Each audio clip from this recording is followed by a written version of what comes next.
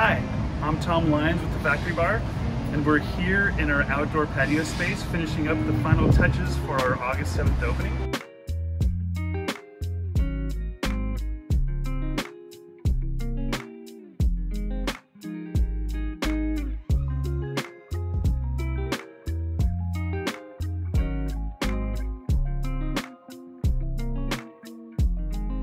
Hibiscus tea, which is non-alcoholic, whirly crane. All of the cocktails are based on Richmond history.